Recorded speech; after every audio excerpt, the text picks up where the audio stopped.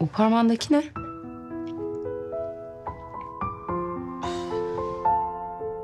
Kadir. evet evleniyoruz.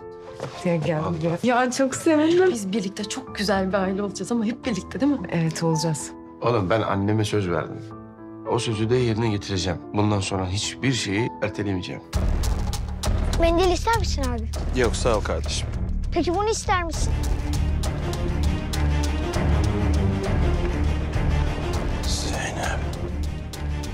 Kadir neredesin Kadir? Aç şu telefonu. Aç şu telefonu Kadir. Cansız Zeynep'i öldürecek. Zeynep'i öldürecek. Zeynep'i. Zeynep!